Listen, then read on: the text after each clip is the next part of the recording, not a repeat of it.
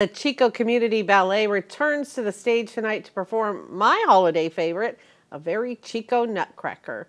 Isabella Nyman is the lead dancer, and she joined us now to share more details. Thank you for being with us, Isabella. Let's talk about your role in the performance. Hi, Linda. Okay, so yeah, my name is Isabella Nyman, and in the performance of A Very Chico Nutcracker this year, I will be playing Angeline and uh, it has it's an important role, lead dancer. You guys have worked really hard leading up to this. Let's talk about what people can look forward to seeing tonight.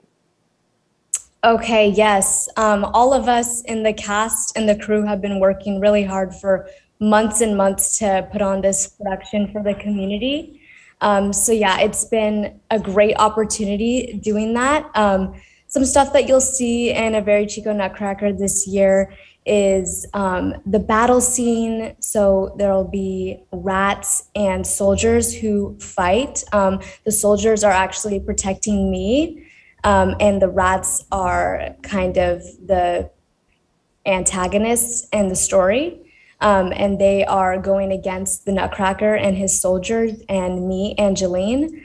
Um, something else you'll see is at the beginning of the ballet in the party scene, There'll be um, several magic tricks that you'll see um, who are Drosselmeyer, Derek, will be um, executing. So there's a lot of magic there. And then, of course, at the end of the ballet, um, there's uh, many characters called divertissements. And what the divertissements are, um, are they are dancers and kind of representatives from different countries that come to dance for Angeline and her Nutcracker. So um, Angeline actually in real life, Angeline Stansberry, um, she had many like posters and banners in her room of all the different countries that she would have loved to go, places she would have loved to go.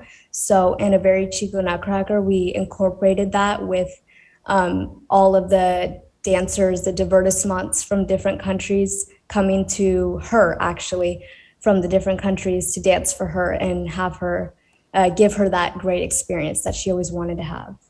It's wonderful because it's adapted to share some of Chico's history. Really quickly, how do people go about getting tickets?